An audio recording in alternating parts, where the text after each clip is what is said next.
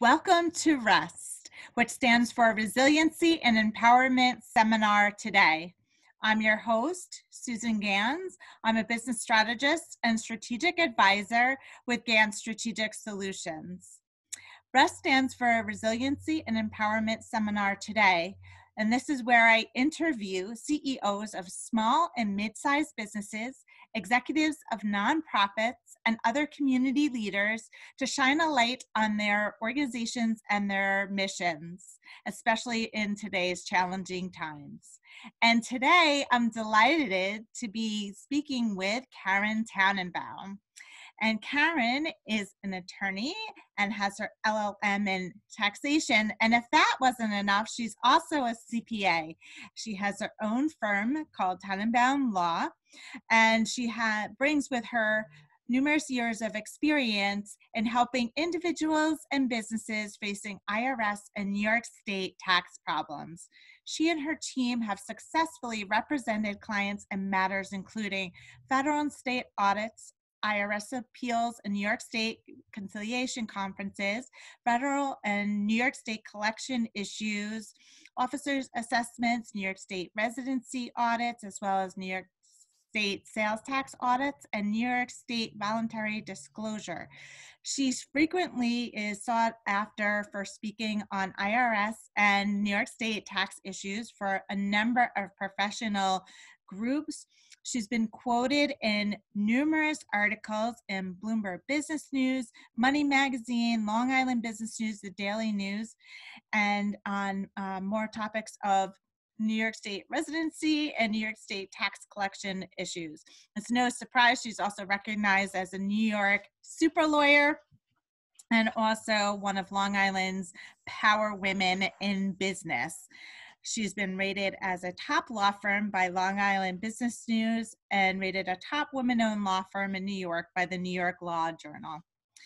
Karen received her LLM in taxation from New York School, University School of Law and her JD from Brooklyn Law School. And she's admitted to the New York State Bar and to the U.S. Tax Court. And like I said, she's also a CPA and she has some fun volunteer things that she does and things in her spare time, but we'll save that fun for the interview to reveal. So, Karen, welcome to the show. Thank you so much for that amazing introduction. That's amazing.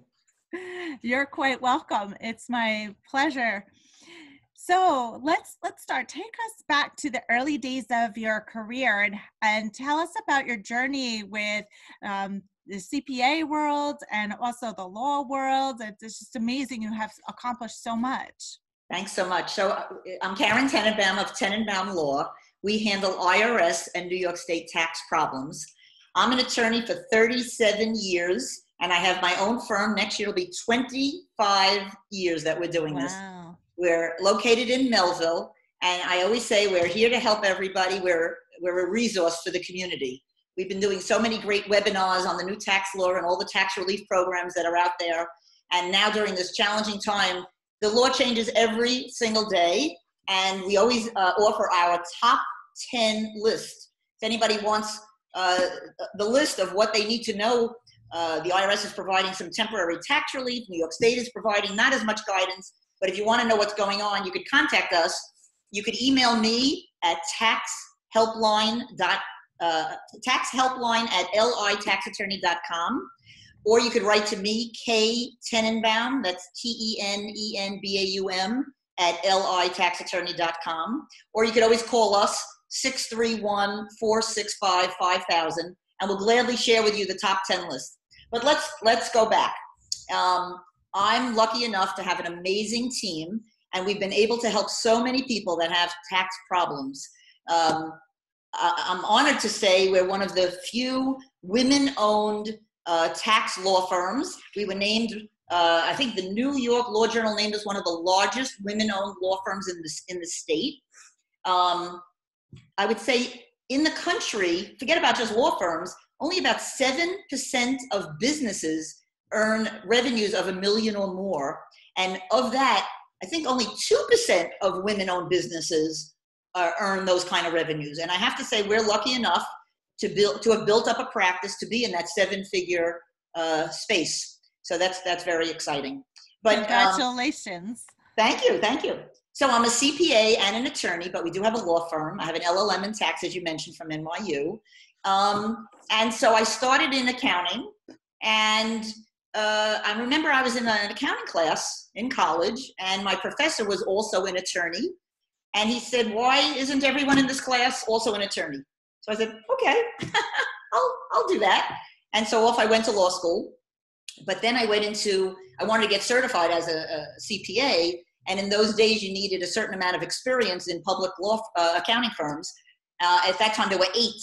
So I got a job at Deloitte in the World Trade Center. I was on the 101st floor in the tax department. And I believe the direct, at North Tower, and I believe the direct hit was the 99th floor of the, of the North Tower. Deloitte had already moved out at the time of the bombing in 93, and I had already left because I didn't want to commute anymore. Um, but, but I started out in accounting firms. I then went to um, uh, Main Hurdman, which merged with Peat Marwick, which became KPMG. Um, and then after I got certified, I said, I don't want to commute anymore. I'd rather work on Long Island on the larger law firms here. And so I came to Long Island. I worked at Ruskin, Moscou, Evans, and Faltischek. And then I went to Farrell Fritz when I had my children and worked on a flexible schedule basis. And I was bringing in a lot of business at that time. I became known uh, for residency audits, New York State residency audits. We represent a lot of snowbirds, people who claim they live in Florida, and New York says, no, you really live here. And so, um, you know, we represent them uh, in these crazy audits. There's, I think New York State does about 3,000 of those audits every year. They go after deep pockets, uh, people who are executives in large companies or have small, closely held companies, but have a house uh, maybe uh, on, in the in the city, an apartment in the city, a house on in the Hamptons, a place in Florida, or they live in New Jersey and Connecticut, go to work in the city, and also have an apartment there. And so we represent a lot of people uh, that have this residency issue because New York State will then tax them on all of their income, no matter where it's earned. And these are deep pockets. So what we've seen is um, New York State is very aggressive. And in fact, even in this time of IRS giving some guidance and leeway, New York State is giving some tax relief in certain areas, but not necessarily clear guidance everywhere. Um, and so there's going to be a lot of residency issues that come up, like where are you sheltering in place? Uh, were you uh, in Florida from October till May and couldn't get back here? Um, or were you were you here and can't get back there? Um, it, it, also sometimes it just comes down to a day count. Are they going to count these days against you? Are you here involuntarily? There's a lot of issues that come up. But anyway, going back, I became known uh, for this niche area of handling uh, residency audits. And I, when I started my own firm 25 years ago, uh, I said, you know what, I can't be all things to all people at all times. I was doing stock deals, real estate deals, all sorts of other great projects in the in the tax world, and I decided to just focus on this one niche. So I became a boutique law firm doing only tax controversies. How's that for a mouthful? yes, there's a there's a lot there. I um, I want to go back and pick up on a point you mentioned earlier, which was that your professor had this profound effect on you. So, oh, well, if he can do that, I could do that. So I'm wondering if there are other mentors and let's say sponsors who you've had throughout your career and have those change and just tell, give us some insight to all the all the people you might have like worked with collaborated with been inspired by along the way so i was really lucky enough to grow up in a family that they had their own closely held business uh, had great work ethics and uh, my mother and my father and my brothers always worked and uh, we would sit around the dinner table and talk about the problems that closely held businesses have. And I always knew, whether I was going to be an accountant or an attorney, that I would help closely held businesses and individuals. And I'm true to my word. I mean, that's one thing that still uh, excites me. I have a passion for that. Um, I've also been lucky enough to get some, um, I'll call it mentoring, but it's really, yes. It's really um, through programs. I've gone through the Goldman Sachs small 10,000 small business program, and I got through a program called Make Mine a Million, that was run by uh, Nell Merlino, who yes. started Take Your Daughter to Work Day. Yeah. And she um, started a nonprofit organization called Count Me In for Women's Economic Independence. She partnered at the time with American Express, Yeah. And if you if you won their contest, I was one of the top 10 pitch winners, you won a coach for 21 uh, sessions, along with a whole bunch of other women on the phone all around the country before you know working remotely was the thing. And I even thought at the time, you know, these women are in different businesses. One uh, sold uh, wigs for women who had cancer, and one did videography at weddings, and uh, someone else did medical research, and someone else sold um, bird seed. Uh, and I even thought, so how am I going to learn from these women? But what you learn is that all businesses are similar. And so the first day, I, on the first call, I, I said, um, they asked uh, the woman who sells wigs, uh, what, what do you do? What do you sell? And, and, and how do you price that? And uh, she goes through her whole thing. I sell shampoos and I sell wigs, sell wigs. And then they said, Karen, so what do you do? And I said, I sell legal services. Okay, well, what does that mean? Oh, well, I handle IRS and New York State, state tax problems. Okay, what does that mean? the next thing I knew, they had me listing all the specific things I did. I handle installment agreements, I handle offers in compromise, I handle people who didn't file, I handle innocent spouse, I handle audits, I handle collections. If you have a lien, a, a, a warrant, a levy, a wage garnishment, an income execution. And they said, well, how do you price that? And so we started going through these things and they said, well, does your website reflect that? And the next thing I did when I got off that call, the first day, first session, was say to the people who handle my website, could we list those exact things so that if someone types in in a Google search, I have an IRS levy, it pops up with an explanation. It turns out I had a great article on New York State warrants that has gotten hits over the years, and I get calls from people saying, "Oh my God, I have a New York State tax warrant. Now what do I do?" And so day one, I learned so much. This was run by uh, a coaching group in Texas named People Biz, and they did a business accelerator program. And every night you had homework, or every week you had homework, and it was it really enhanced my business. One thing they focuses focus, focused on is the, the marketing, the sales, the financial aspect. Did you have a dashboard? Do you know your numbers? Um, so now, be between that group and the Goldman Sachs group, every single week, I have a financial analyst in the office who gives me the numbers. So we have targeted numbers. Uh, what are the goals for re- revenues, for new calls, for consultations, for converting to clients, and how are we doing? It's almost like a GPS system. You know, are we on track? Do we have to make adjustments? You know right away when you're off track. So you have to have key performance indicators and then uh, follow along. So those were my two main uh, groups in learning about businesses. So I'm a CPA, I'm an attorney, but I never went for an MBA. And so this was like a miniature MBA really to take these two these two classes. Of course, along the way, I have worked with so many great professionals. I have a tremendous referral support group. I belong to many, many different uh, organizations that meet on a regular basis. And over the years, each person has offered me different opportunities. So, you know, you meet somebody and, and next thing you know, you're being interviewed or you're having a, a, a speaking engagement. Or somebody once invited me to Albany to meet the, uh, the commissioner, the New York State Department of Taxation and Finance commissioner when I was very young. And we went back year after year. So for 30 years, we've had uh, meetings with all the major deputies and, uh, and rep- New York State representatives, which is amazing. So when I have a, a speaking engagement, I'll often invite somebody, perhaps somebody from uh, audit or collection, to give the state's perspective, and you end up with a great working relationship. So I've been lucky along the way to meet all these great professionals. So it sounds like you've found ways to really collaborate with um, the people that you've met along the way and also found opportunities to learn from others even if they're not directly in in your field right? Like like your your folks in some of the other industries wigs and and and so forth. So that's really um quite inspiring. Well what's great is because i'm also a cpa i've been very active in the new york state society of cpas uh, the nassau chapter in the city uh, NCPAP, the National Conference of CPA Practitioners. We do a lot of speaking for enrolled agents the, the Financial Planning Association of Long Island. So we've really engaged all the professionals on Long Island, um, and and we refer business back and forth on a regular basis. That's great. I want to hear also because you're bringing out your how you show up as a leader. So I just want to hear more about what are your core leadership values and how how they show up in these other places like besides your your your day-to-day profession it also seems in all these other groups and in your community. So so tell us a little bit more about that. Well, sure. So I've always tried to take leadership roles. So I've been uh, head of the IRS liaison committee.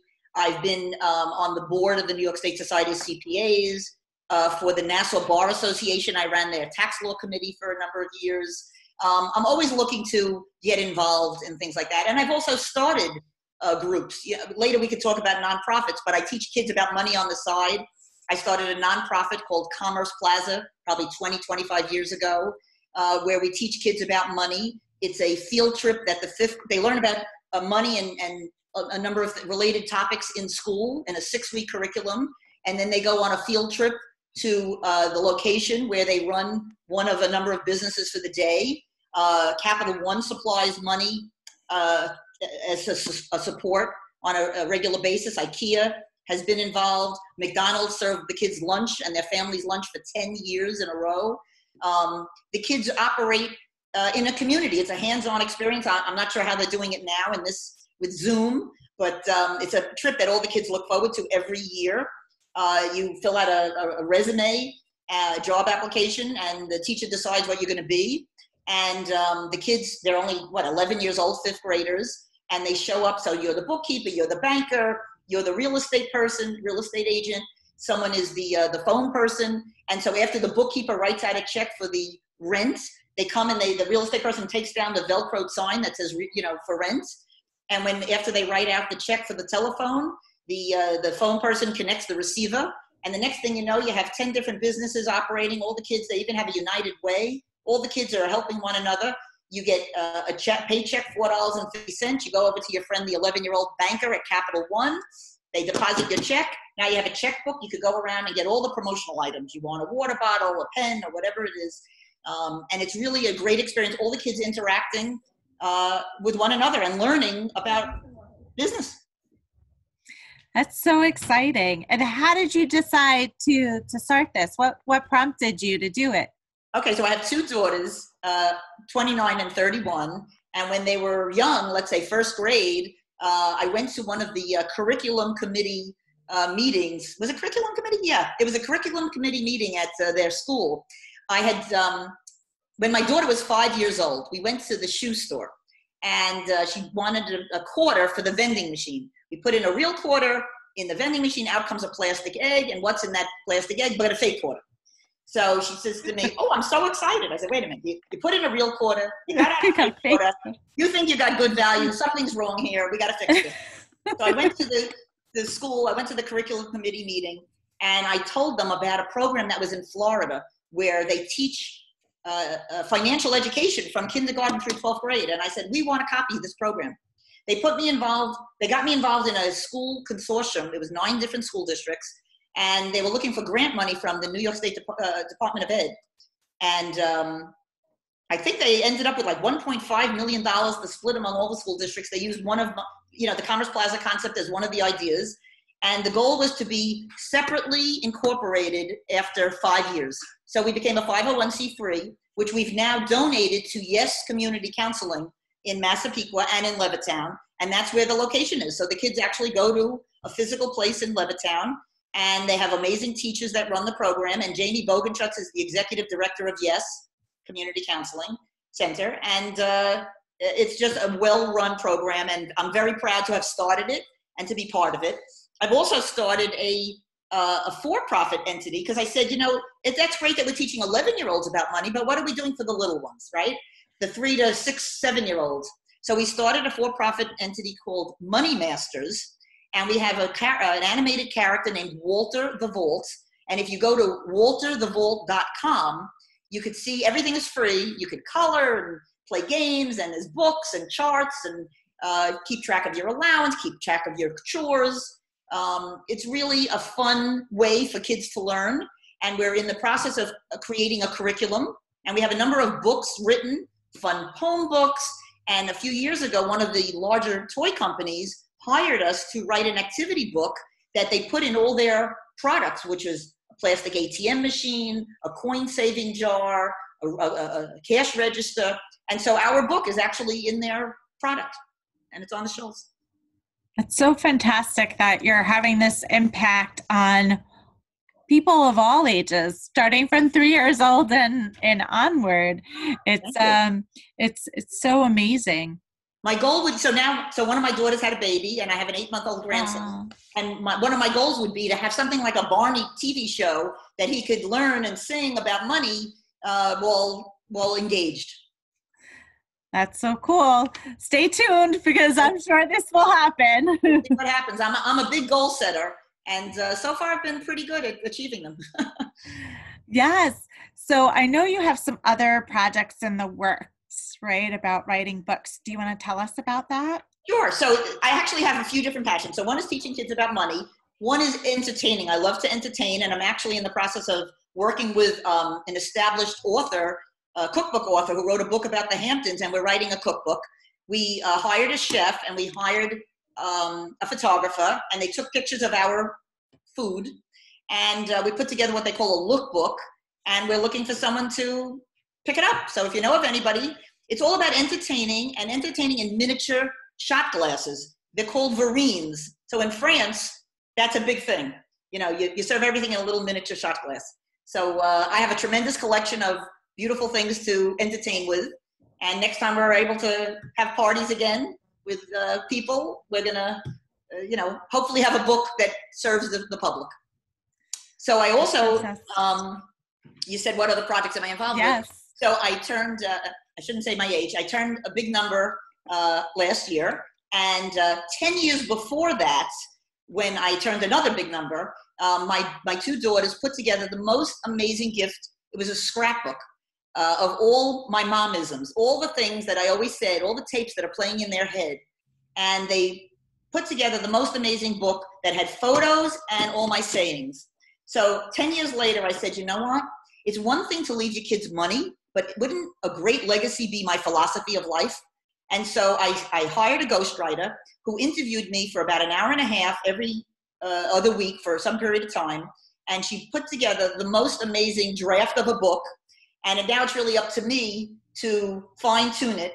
Um, I've actually asked my daughters to get involved because they do have the tapes playing in their head. They do know my philosophy. They lived with me. And now, wouldn't it be great if I could solidify all the information, all the words of wisdom, and be able to pass it along to the next generation who have not lived with me, my grandchildren? Um, so we're working on that, and it's it, it was such a labor of love to to go through this and actually have conference calls with my daughters and my husband on the calls with the ghostwriter, giving everybody's uh, philosophy and take on on different things. So what I've learned is, yes, they know what I think is the the proper way to live, or the the how you know what would uh, Jackie O say, or what would Chanel say, um, what would Karen say. But they don't have to live by it. They can make choices and adapt and adjust because now that they have spouses, they come with a different perspective. So it was fascinating. For, so, for example, I'm, I always say I'm a tree rooted in the ground. I'm a woman of my word and I live with integrity. And you could always put my address in pen in a, in a phone book. I'm not moving. This is where I am. I'm a stable citizen. But and that means that if you and I say we're going to be somewhere at a certain time, you can count on me to be there. I may be a few minutes late, but I'm showing up no matter what. It could be snow, it could be anything. I'm showing up. And what I've learned is from them that it might be okay to not be so strict with yourself. It might be okay to say, you know what? it's it is snowing outside. Let me call and change the plans. And so their spouses have given them that flexibility that I I don't give myself. So I found that fascinating. So so I'm mm-hmm. learning as well. So it's not just me putting my words of wisdom in a book. It's the, the, the collaboration of learning from them as well. Now that they're adults, they're amazing. I'm very impressed with my girls. Very proud of my girls and their spouses. They picked great mates and uh, and hopefully living great lives. Well, they had a wonderful role model, and I just love that um, they're involved in your your project, and that you're learning from them now, as well as them learning from you. So, thank you. What a what a fun project! I want to talk about resiliency, especially during these challenging times. So, so tell me about you know how you're being resilient now, how you might have been resilient in the past. I'll let you uh, take the the question from here. So how timely, right? So um, I would say I'm working more now than I've ever worked in the last 35 plus years. Um, but I bounce back. And so, you know, if I ever have, I'll call it a meltdown, but I don't really have meltdowns. But if you ever, if I ever experience um, a moment where I say, oh my God, how am I going to handle this? You know what? I step back and I realize that, first of all, perspective and mindset is everything. Um, I'm a very positive person. I'm very optimistic. Uh, I'm very goal oriented and I can plan ahead for the future. So when I was just looking to say, okay, we're going to get through this in the next few weeks, that's one short term view. But now that I realize it's going to go on and on and on, I have to change my view. And so I have to go back to the reasonable work hours that I had before. So whereas right now, um, I'm, I'm doing a lot of webinars and a lot of meetings and a lot of figuring out what's working and what's not working in my office and how can I fix that. Yes, it required a lot of full focus time and attention, and I'm giving it. But I also realize that I need my balance. I need time to uh, ride my bicycle, be out in the fresh air, uh, when the pool, when it's warm weather and the pool opens, to swim my laps, uh, to have time for me to do the things that I enjoy, all the projects that we just mentioned. So it can't just be work, work, work, work, work, work, work uh, all day long. So uh, what is resiliency to me? To, it's really um, having the right perspective um, and knowing that we're gonna we're gonna get through this. Uh, life will be different, um, but but remain positive. Think of all the good things in your life. Uh, I write in a journal on a daily basis since I'm. I, have had every journal since I'm 18 years old. Wow. Um, and, and I write in it every morning. It's part of my routine. I have a routine every morning that I follow, and I make sure that I talk about what is going well in my life, what I'm happy about, what I'm, and, and what I'm planning for the future as well and how lucky I am to have a great family and health and, and, and a great team at the office and just everything. Everything. Everything is positive, thank God. As long as you and stay healthy. I love that you have a daily routine. That's something I, I talk about a lot with people. Can you share a little bit more about that daily routine in addition to journaling, what you do? Sure. So I, I also try, I try and eat healthy. I try and get in some exercise. You know, not, it's not always possible. Um, I also bifurcate my life. So I don't go, so again, before all of this, I don't go to the office every single day. I have a flexible schedule and everyone knows what they can expect of me. As I said, I'm, I'm a woman of my word. I live with integrity. And so there are certain days and certain hours that I'm definitely in the office. And then there are other days that I'm out either networking or I always say I, I need a day, like I call it a pajama day. So now everyone's in their pajamas, but there was a time for the last however many years, 25 years, where I thank God had a day of just being me. Whatever I want to do. If I don't want to wear makeup, if I don't want to get dressed, that's that's for me. So I try and incorporate uh, all the things that I want in my life in my life. I actually implement it. That's the goal. That's that's my routine. And then I try and have time with my family, time with my husband, time with my kids, time with my parents. My parents are a very active uh, couple. Uh, I also go out dancing on a regular basis. They go out dancing on a regular basis. They do ballroom wow. dancing, and wow. so so it's it's you know it's it's great. I didn't know that I had a, I had a, another colleague who's into dancing like me. so I do freestyle. My parents do ballroom, yes. and I have to say they had a busier social life than I have. They go out before this four nights a week. These are wow. people, the people in their mid 80s, and they're going out four nights a week. My mother goes to the gym four mornings a week. They take walks around the block. I mean, they're unbelievable. I'm very blessed. Love it. Very blessed. Love it. So tell me what is a key word or phrase that you find inspiring that you'd like others to remember? So you mean like someone else's quote? Either you know somebody else's quote or or your own or something that you you find that like if you're in a place where you need something like what is what is that phrase for you that's a, that's a good question. So you know actually i'm going to go i, I you know because i make lists of everything. I'm a list maker. I'm going to go to my evernote here and i'm going to give you my quotes. Here I, I have quotes. Let's see. Awesome. Let's see uh, i'm looking. Karen's quotes. Here you go. Life is the accumulation of all our decisions and choices experiences and personality. Watch how you spend your time. Focus on what matters. Leave room in your day for serendipity. You know, don't overschedule. It's all about how you spend your time, money, energy, and other resources. I love this one. Start every day with a hug so you know you're loved. Wow. Those are my quotes. But I also have quotes from others. You want me to give you some of those? Sure. Okay, let's see. Um, so Mario Cuomo uh, said, Success is easy. Know what you want to do and do it. I thought that was pretty funny. And Nell Merlino, who I mentioned earlier, who going yeah. Take Your Daughter to Work Day, said, You can have it all, you just can't do it all yourself.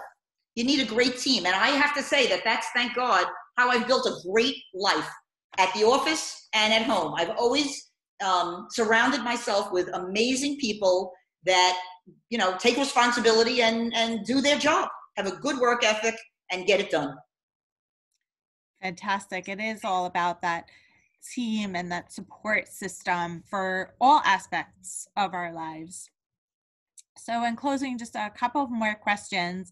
What is one key takeaway or insight that you would like our audience to remember about this conversation today? Right. So, really, that's it. Um, I'm a big delegator, and I have to say, you need a great team. So, whether it's a great office manager, a great marketing team, a great financial team, great assistants at the office, great attorneys at the office, um, who help the you know the clients have an amazing i keep saying amazing a great work experience a great journey through handling their tax problem. Uh, you need a great team. And in the house you know whether it's your spouse or relatives or friends you need to surround yourself with with people that are going to bring you up when you're down or just be there for you um, as you live your life that make it that make it worth living that make it so wonderful that make it fun. Well, Karen, it's been an absolute pleasure to spend time with you today, hearing about your background. I want to make sure that people can find you. So, can you share with us? I know you did at the beginning of the show, but just to remind them of the places that they can find you. Sure. So it's Tenenbaum Law, T E N E N B A U M Law. We're in Melville. You could find us at litaxattorney.com or 631 465 5000. You could email us at taxhelpline at litaxattorney.com or you could email me at ktenenbaum at litaxattorney.com. We also have a free app, Tax Helpline. This is for the people who either want to do it themselves, everything is free, and we also give you valuable links to the IRS and New York State websites so if you want to do your own, let's say, installment agreement and you meet the criteria, or New York State now allows you to do online and offer in compromise, or if you're a non-filer and you need a voluntary disclosure, New York State has a, a, a website for that. So you might want to have um, one easy link to these places. And so you could download Tax Helpline and it's everything is free. We then give you a free 15 minute consultation. So while you're looking at things and you don't understand what you're looking at because it's quite complicated, you could call us anytime and we're there for you. Thank you so much, Karen. And uh, thank you to my audience for watching. And until the next time, the conversation continues. Thank you so much, Susan, for having me. This was really wonderful. You're quite welcome.